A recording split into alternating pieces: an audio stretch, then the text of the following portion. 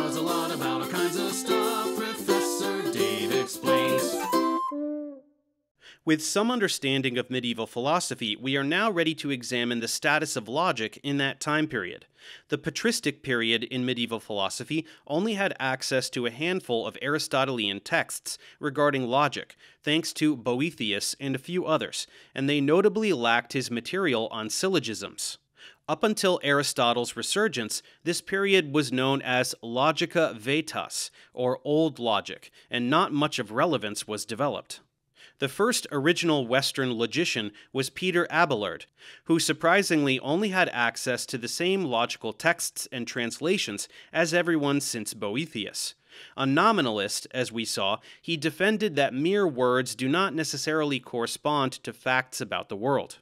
Therefore, he focused on the propositional aspects of logic in order to analyze arguments as a whole, the first to do so since the Stoics, as term logic would be too caught up on common nouns and adjectives, or status as he poised them. Propositions would be dicta, referencing not only a word but also the speaker's intention of meaning, and they would be the only sentences able to be true or false, as status would be incomplete in themselves.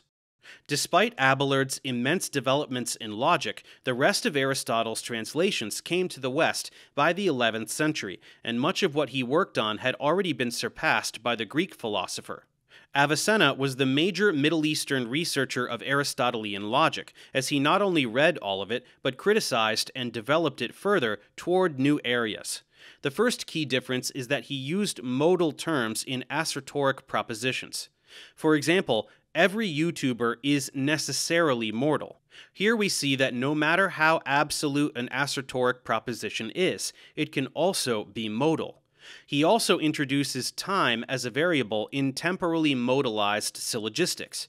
So even these apparently absolute universal affirmative or type A sentences that we learned about in an earlier tutorial may vary from referring to all individuals are always X, as in a predicate which happens invariably in the past, present, and future to all members of that category, to all individuals occasionally happen sometimes to be X. For example, every teacher is necessarily sometimes teaching or sometimes not teaching. Though these advances themselves were not in any way revolutionary, Avicenna's legacy was that every posterior logician was responding to his commentary and developments of Aristotle instead of to Aristotle himself. Though direct references to him faded after a couple of centuries in the West, he was still widely discussed in Middle Eastern traditions up until the 20th century. This new period in the West, informed with substantially more material on logic than the previous one, was called Logica Nova, or New Logic. Following Avicenna's influence in the medieval period, Aquinas widely used logic to treat theological issues, and though he didn't develop anything too original, he contextually influenced much of what came next as well. This amalgam of logical development from Abelard's efforts, Avicenna's thorough research, and Aquinas' centering logic in every debate characterized this new period of logic studies, leading to its widespread popularity in the final centuries of the medieval period. Four major areas were treated by many authors during this time syncategoremata, obligationes, insolubilia, and terminist logic. The study of syncategoremata focuses on the words which are not used as subjects or predicates in a sentence, like all, every, whole, both, nothing, and but, for example. These are terms which connect and influence the categories. Categories which we've seen in the first logic tutorial and also in the tutorial on Aristotelian logic refer to the predicates or the classes in which an entity or subject may be included. The obligationes was a specific mode of debate with specific rules between an opponent who would present a thesis and a res who would either question, accept, or doubt it, both of whom were utilizing logical rules of discourse. When the former would decide, the process would end and Res's responses would be analyzed to verify the logical thoroughness and consistency of such thesis, the obligation its name refers to, working much like a session of fact checking but for logical validity. The insolubilia, or the insolubles, referenced fallacies and paradoxes in logic. It resurged when Boethius's translation of Aristotle's The Sophistic Refutations gained major attention during this time, which refers to his contempt of sophists and focuses on how to categorize, identify, and execute fallacies in argumentations. Fallacies, simply put, are faulty reasonings attempting to pass as valid ones. A simple example by Aristotle was Whatever you have not lost, you still have. You have not lost horns, therefore you still have horns.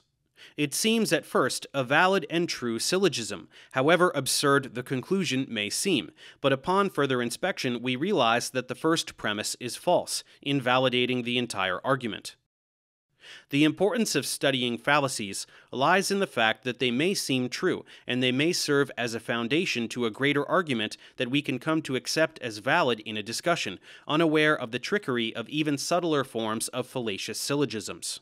But unlike elsewhere in his logical works, Aristotle was lacking in this regard, as these writings were incomplete, poorly executed, and left much to be done on the topic. Medieval discussion did not advance much in this regard, but special attention was given to the liar paradox, famous in ancient philosophy.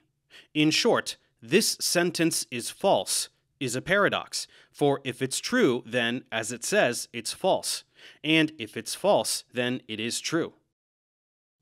In the 20th century, it was the center of a crisis in logic, epistemology, and philosophy of language, among others, but in medieval times it was treated merely as an interesting logical pastime.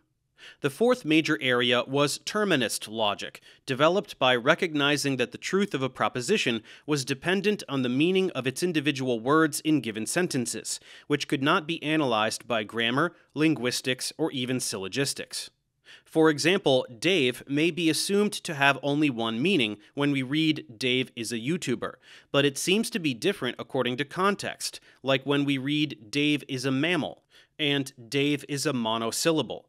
It is thus not, as the name suggests, an analysis of words, but of terms in a contextual logic. This was an important development, as it preceded what would be Leibniz's formulation later in the 17th century, and also what would become contemporary theories of reference. But as was common in medieval times, the manner in which they solved it was flawed and had little to add to the debate, as it led to strange occurrences like all behemoths are behemoths, always being false, as behemoths never existed and all roses are fragrant will always be true, even if roses ceased to exist. One final notorious concept was the Ockham's razor, also called law of economy or of parsimony, a concept still widely used nowadays.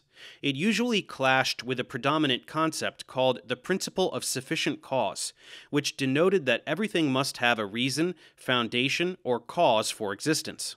This would be problematic, as it would require countless positing of ontological entities to explain simple facts. Strangely, William of Ockham did not originally formulate this concept as the name suggests, as it apparently was a common adage with the scholastics and is traceable even to the pre Socratics and Aristotle, who proposed in his logic writings regarding all sciences that all things being equal, simpler formulations requiring fewer premises are better and represent more valuable knowledge. This concept gained notoriety in the empirical sciences and mathematics, as the fewer the number of posits supporting a theory, formula, or the like, the higher the probability of it being right, as there's statistically less chance of any of those posits being false or just being noise. Though many developments occurred in medieval logic, their ignorance of ancient texts and the unification with theology made them slow and fairly negligible, becoming almost completely surpassed only a few centuries after its end.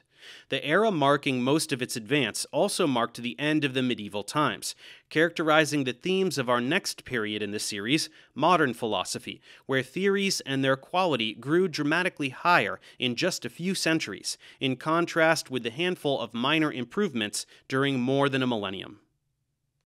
Thanks for watching. Subscribe to my channel for more tutorials. Support me on Patreon so I can keep making content. And as always, feel free to email me, ProfessorDaveExplains at gmail.com.